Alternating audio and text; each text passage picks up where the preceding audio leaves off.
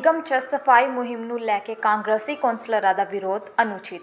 ਸਫ਼ਾਈ ਕਰਵਾਉਣ ਹਰ ਕੌਂਸਲਰ ਦਾ ਨੈਤਿਕ ਫਰਜ਼ ਟੋਟ। ਕਾਂਗਰਸ ਨੇ ਕਪੂਰਥਲਾ ਨਗਰ ਕੌਂਸਲਰ ਨੂੰ ਨਗਰ ਨਿਗਮ ਬਣਾ ਕੇ ਲੋਕਾਂ ਨਾਲ ਕੀਤੀ ਬੇਇਨਸਾਫੀ।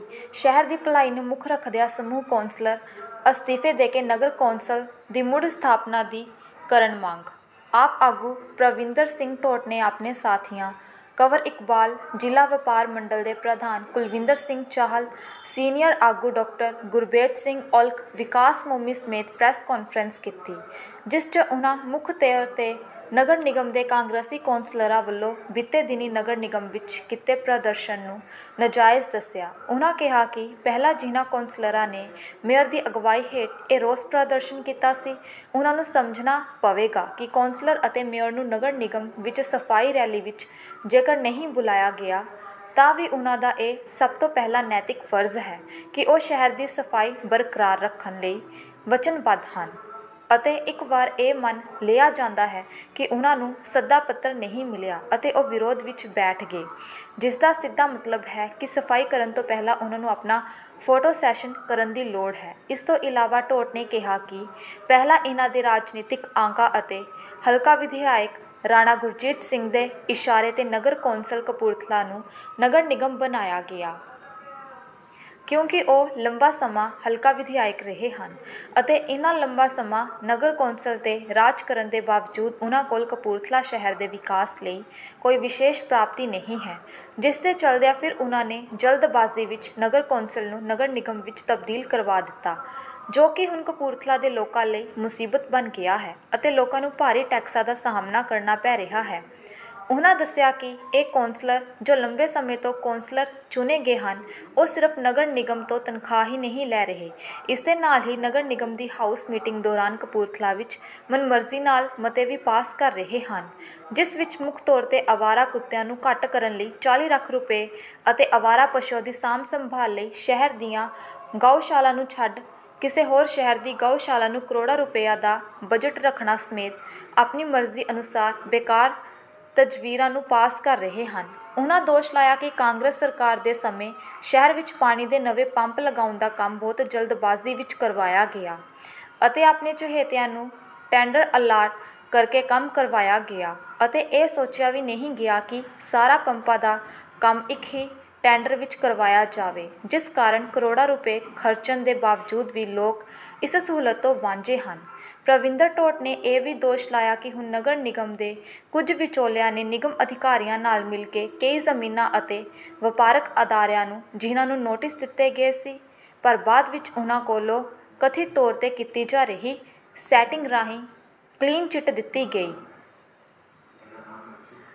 ਉਹ ਕਪੂਰਥਲਾ ਨੂੰ ਮੁੜ ਨਗਰ ਕੌਂਸਲ ਬਣਾਉਣ ਲਈ ਮੁਹਿੰਮ ਸ਼ੁਰੂ ਕਰਨ ਅਤੇ ਕਪੂਰਥਲਾ ਸ਼ਹਿਰ ਦੀ ਭਲਾਈ ਨੂੰ ਮੁੱਖ ਰੱਖਦਿਆਂ ਹੋਇਆ ਨਗਰ ਨਿਗਮ ਤੋਂ ਆਪਣੇ ਅਸਤੀਫਿਆ ਦੇ ਕੇ ਇਸ ਮੰਗ ਨੂੰ ਜ਼ੋਰਦਾਰ ਢੰਗ ਨਾਲ ਚੱਕਣ ਅਤੇ ਫਿਰ ਦੇਖਣ ਦੀ ਜਨਤਾ ਉਹਨਾਂ ਨੂੰ ਕਿੰਨਾ ਪਿਆਰ ਕਰਦੀ ਹੈ ਅਤੇ ਸ਼ਹਿਰ ਦੀ ਭਲਾਈ ਨੂੰ ਸਮਝਦੇ ਹੋਏ ਉਹ ਵੀ ਪਾਰਟੀ ਲਾਈਨ ਤੋਂ ਉੱਪਰ ਉੱਠ ਕੇ ਇਸ ਦਾ ਸਮਰਥਨ ਕਰਨ ਲਈ ਤਿਆਰ ਹਨ ਅਤੇ ਵਿਸ਼ਵਾਸ ਦਿਵਾਇਆ ਕਿ ਉਹ ਉਹਨਾਂ ਸਾਰਿਆਂ ਨੂੰ ਨਾਲ ਲੈ ਕੇ ਇਸ ਮੰਗ ਨੂੰ ਪੂਰਾ ਕਰਨ ਲਈ ਮੁੱਖ ਮੰਤਰੀ ਤੱਕ ਪਹੁੰਚ ਕਰਨ ਲਈ ਹਮੇਸ਼ਾ ਤਿਆਰ ਹਨ।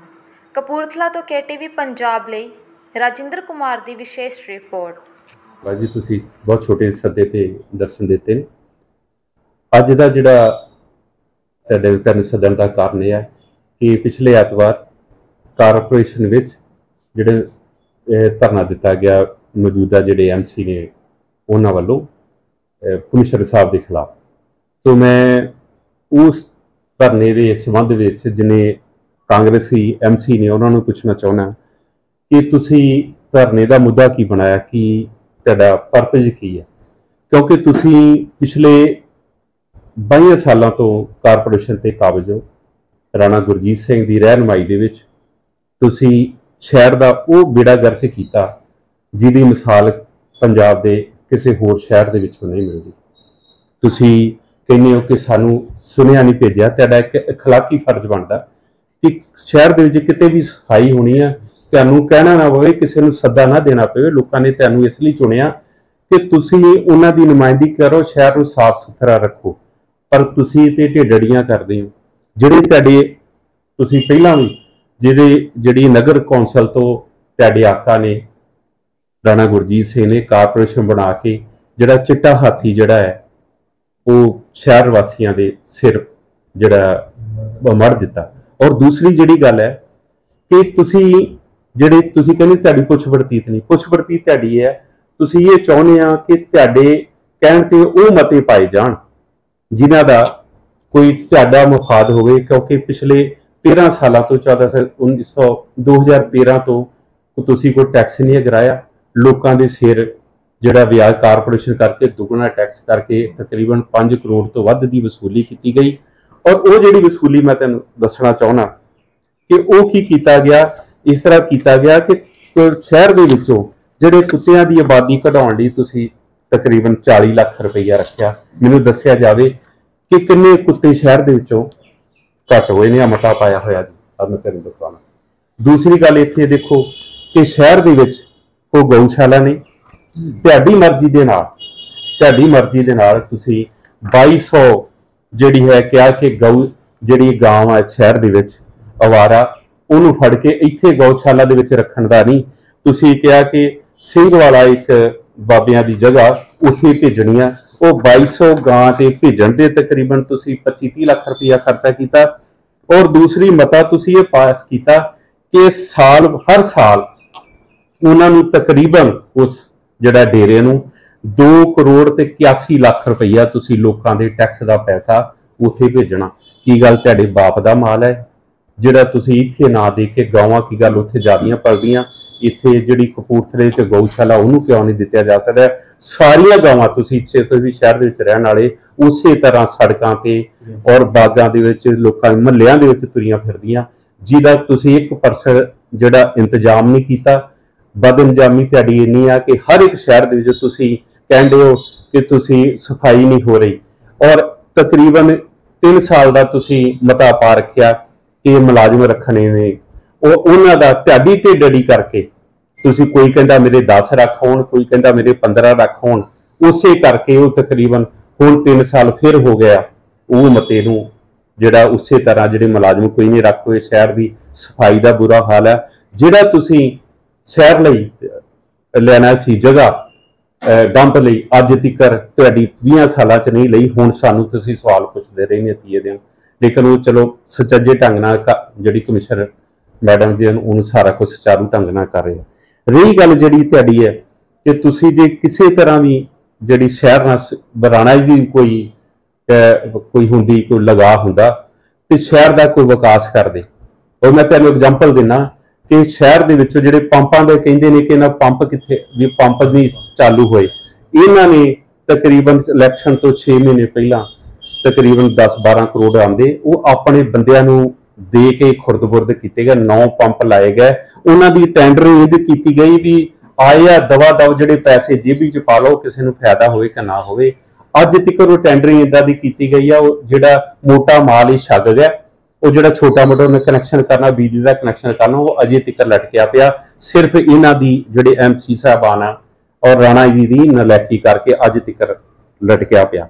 ਮੈਂ ਇੱਥੇ ਕਹਿਣਾ ਚਾਹੁੰਦਾ ਕਿ ਦੇਖੋ, ਜੇ ਹੋਰ ਦੇਖੋ ਜਿਹੜਾ ਇਹਨਾਂ ਨੇ ਕੀ ਡਿਵੈਲਪਮੈਂਟ ਕੀਤੀ, ਮੈਂ ਰਾਣਾ ਜੀ ਨੂੰ ਚੈਲੰਜ ਕਰਦਾ ਕਿ ਤੁਸੀਂ 22 ਸਾਲ ਇਸ ਸ਼ਹਿਰ ਦੇ ਵਿੱਚ ਕਹਿੰਦੇ ਹੋ ਕਿ ਮੈਂ ਮਹਾਰਾਜ ਵਾਂਗੂ ਲੋਕਾਂ ਨੇ ਤੁਹਾਨੂੰ ਨਵਾਜਿਆ ਵੀ, ਹਰ ਇੱਕ ਤਰ੍ਹਾਂ ਦਾ ਤੁਹਾਡਾ ਮਾਨ ਸਤਿਕਾਰ ਤੁਸੀਂ ਜਿਹੜਾ ਵੀ ਟੱਬਰ ਦਾ ਜੀ ਲਿਆ ਕੇ ਤੇ ਖੜਾ ਕਰ ਦਿੱਤਾ ਉਹਨੂੰ ਕਿਹਾ ਕਿ ਇਨ ਲੋਕਾਂ ਨੇ ਉਹਨੂੰ ਸਿਰ ਮੱਥੇ ਕਬੂਲ ਕੀਤਾ।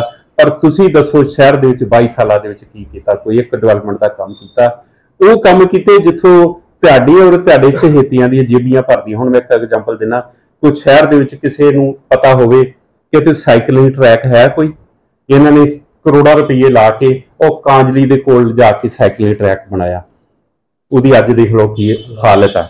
ਉਹ ਕੈਮਰਾ ਬਾਗ ਦੇ ਵਿੱਚ 18 ਲੱਖ ਰੁਪਈਆ ਲਾ ਕੇ ਇੱਕ ਛੋਟੀ ਸੈਰਗਾਹ ਬਣਾਈ। ਅੱਜ ਦੇਖ ਲਿਓ ਉਹਦੀ ਕੀ ਹਾਲਤ ਹੈ? ਇਹਨਾਂ ਬੰਦਿਆਂ ਨੇ ਔਰ ਇਹ ਜਿਹੜੇ ਐਮਸੀ ਸਾਹਿਬਾਨ ਆ ਆਪ ਕਰਨਾ ਲੋਕਾਂ ਦੇ ਚੁਣੇ ਹੋਇਆ ਮੈਂ ਰਿਸਪੈਕਟ ਨਾਲ ਕਹਿ ਰਿਹਾ।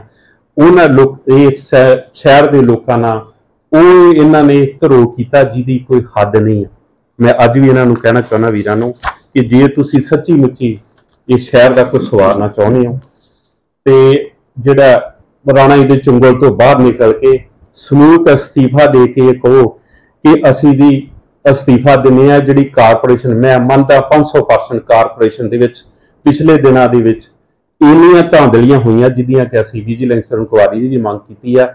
ਦਿਨ ਦਿਹਾੜੇ ਜਿਹੜੀਆਂ 30 30 ਸਾਲ ਤੋਂ ਦੁਕਾਨਾਂ ਚੱਲਦੀਆਂ ਹੋਈਆਂ ਸੀ, ਕਿਸੇ ਨੇ ਮਾੜੀ ਮੁੱਠੀ ਤੇ ਰੈਨੋਵੇਸ਼ਨ ਕੀਤੀ, ਉਹਦੇ ਤੇ ਜਿੰਦਾ ਲਾ ਦਿੱਤਾ ਗਿਆ।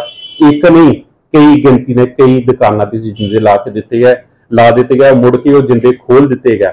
ਕਿਹੜੇ ਕਾਨੂੰਨ ਤਹਿਤ, ਕਿਹੜੇ ਕਾਨੂੰਨ ਦੇ ਤਹਿਤ ਉਹ ਖੋਲੇ ਗਏ, ਕਿਸੇ ਨੂੰ ਪਤਾ ਨਹੀਂ। ਲੋਕੀ ਦੱਸਦੇ ਸਾਨੂੰ ਅਸੀਂ ਕਿਉਂਕਿ ਆਮ ਆਦਮੀ ਪਾਰਟੀ ਦੇ ਘਰ ਘਰ ਜਾ ਕੇ ਵੋਟਾਂ ਮੰਗਦੇ ਰਹੇ। ਲੋਕੀ ਸਾਨੂੰ ਇਹ ਲਾਂਭਾ ਪਾਉਂਦੇ ਕਿ ਆਹ ਤੁਹਾਡੀ ਕਾਰਪੋਰੇਸ਼ਨ ਦਾ, ਮੈਂ ਮੰਨਦਾ ਕਾਰਪੋਰੇਸ਼ਨ ਚ ਬਿਲਕੁਲ ਕਰਪਸ਼ਨ ਹੈ ਨਕਸ਼ਿਆਂ ਵਿੱਚ ਹੀ ਕਰਪਸ਼ਨ ਆ। ਹਰ ਥਾਂ ਕਰਪਸ਼ਨ ਉਹਦੀ ਵਿਜੀਲੈਂਸ ਇਨਕੁਆਰੀ ਪਿਛਲੇ 3 ਸਾਲਾਂ ਦੀ ਅਸੀਂ ਮੰਗ ਕੀਤੀ ਔਰ ਬਹੁਤ ਜਲਦੀ ਇਨਕੁਆਰੀ ਸ਼ੁਰੂ ਹੋਊਗੀ।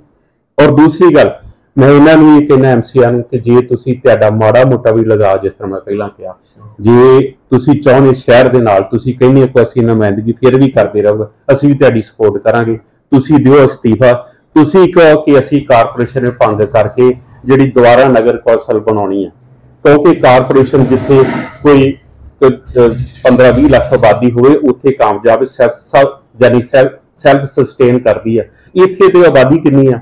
ਔਰ ਛੋਟਾ ਜਿਹਾ ਚਿੜੀ ਦੇ ਪਹੁੰਚੇ ਜਿੱਡਾ ਸ਼ਹਿਰ ਆ, ਜਿਹਦੇ ਵਿੱਚ ਕਿ ਇਹਨਾਂ ਦੇ ਖਰਚੇ ਕਿਉਂਕਿ ਜਿਹੜਾ ਅਮਲਾ ਫੈਲਾ ਹੀ ਇੰਨਾ ਹੀ ਆ, ਜਿਹੜਾ ਸਰਕਾਰੀ ਅਮਲਾ ਫੈਲਾ ਉਸ ਤੋਂ ਬਾਅਦ ਜਿਹੜੇ ਐਮਸੀ ਆ, ਉਹਨਾਂ ਦੀ 30-30000 ਰੁਪਇਆ ਤਨਖਾਹ, ਜੇ ਤੇ ਤੁਹਾਨੂੰ ਤਨਖਾਹ ਪਿਆਰੀ ਆ, ਤੁਸੀਂ 30000 ਤਨਖਾਹ ਲਈ ਹੀ ਲੱਗੇ ਹੋ, ਤੇ ਫਿਰ ਤਾਂ ਮੈਂ ਕਹੂੰਗਾ ਤੁਸੀਂ ਕੀ ਅਸਤੀਫੇ ਦੇਣੇ ਅਦਰਵਾਇਜ਼ ਜੇ ਤੁਹਾਨੂੰ ਕੋਈ ਸ਼ਹਿਰ ਲਈ ਉਹ ਕਿਸੇ ਤਰ੍ਹਾਂ ਦੀ ਸ਼ਹਿਰ ਵਾਸੀਆਂ ਲਈ, ਕਿਸੇ ਤਰ੍ਹਾਂ ਦਾ ਲਗਾ ਜੋ ਪਿੱਛੇ ਹੋ ਗਿਆ, ਸੋ ਗਿਆ, ਉਹਨੂੰ ਭੁੱਲ ਕੇ ਸਾਰੇ ਧਰਨੇ ਲਾਉਣ ਦੀ ਥਾਂ ਆਪਣੇ ਅਸਤੀਫੇ ਦਿਓ ਔਰ ਕਹੋ ਕਿ ਅਸੀਂ ਕਾਰਪੋਰੇਸ਼ਨ ਨਹੀਂ, ਨਗਰ ਕੌਂਸਲ ਬਣਾਉਣੀ ਹੈ ਦੁਆਰਾ ਅਸੀਂ ਵੀ ਤੁਹਾਡੇ ਨਾਲ ਜਿੱਥੇ ਜਾਣਾ ਹੋ ਕੋਰਟ ਜਾਣਾ ਹੋ ਤਾਂ ਮਾਨ ਸਾਹਿਬ ਕੋ ਜਾਣਾ ਹੋ ਜਾਵਾਂਗੇ, ਤੁਹਾਡੀ ਮੰਗ ਰੱਖਾਂਗੇ ਤਾਂ ਕਿ ਸ਼ਹਿਰ ਦਾ ਸੁਚੱਜੇ ਢੰਗ ਨਾਲ ਵਿਕਾਸ ਹੋ ਸਕੇ, ਕਿਉਂਕਿ ਇਹ ਜਿਹੜੀ ਹੈ ਨਾ ਜੀ ਕਿ ਇੱਥੇ ਵਿੱਚ ਜਿਹੜਾ ਹੈ ਖਰਚਾ ਰੁਪਈਆ ਤੇ ਆਮਦਨੀ ਚਵਾਨੀ ਵਾਲਾ ਕੰਮ ਇਹਨਾਂ ਕਰ ਲਿਆ ਔਰ ਲੋਕਾਂ ਦੇ ਗਲ ਦੇ ਵਿੱਚ ਇੰਨੇ ਸਿਆਪੇ ਜਿਹੜੇ ਕਾਰਪੋਰੇਸ਼ਨ ਨੇ ਪਾ ਦਿੱਤੇ ਛੋਟੇ ਸ਼ਹਿਰ ਕਰਕੇ ਨਿੱਕੇ ਮੋਟੇ ਕੰਮ ਲਈ ਵੀ ਤਰਲੇ ਮਾਰਨੇ ਪੈਂਦੇ ਆ। ਬਾਕੀ ਜਿਸ ਤਰ੍ਹਾਂ ਮੈਂ ਪਹਿਲਾਂ ਕਿਹਾ, ਜੇ ਇਹਨਾਂ ਨੂੰ ਮਾੜੀ ਮੋਟੀ ਵੀ ਇਸ ਸ਼ਹਿਰ ਨਾਲ ਲਗਾਵਾ ਹੈ ਸਾਰੇ ਐਮਸੀ ਮਾਨ ਨੂੰ, ਮੇਅਰ ਜਿਹੜੇ ਜਿਹੜੇ ਆਪਣੇ ਮੇਅਰ ਨੇ, ਉਹਨਾਂ ਨੂੰ ਮਾੜਾ ਮੋਟਾ ਵੀ ਲਗਾ ਆਪਣੇ ਅਸਤੀਫੇ ਦੇਣ ਔਰ ਇਹ ਕਹਿਣ ਕਿ ਸਾਨੂੰ ਕਾਰਪੋਰੇਸ਼ਨ ਨਹੀਂ ਚਾਹੀਦੀ, ਸਾਨੂੰ ਨਗਰ ਕੌਂਸਲ ਚਾਹੀਦੀ ਹੈ ਲੋਕ ਇਹਨਾਂ ਨੂੰ ਪਹਿਲਾਂ ਨਾਲੋਂ ਵੀ ਵੱਧ ਮਾਨਤਾਨ ਦੇ ਕੇ ਜਿਤਾਉਣਗੇ। ਔਰ ਮੈਂ ਇਹੋ ਗੱਲ ਤੁਹਾਡੇ ਰਾਹੀਂ ਕਹਿਣਾ ਚਾਹੁੰਦਾ ਸੀ। ਤੁਹਾਡਾ ਸਾਰਿਆਂ ਦਾ ਧੰਨਵਾਦ।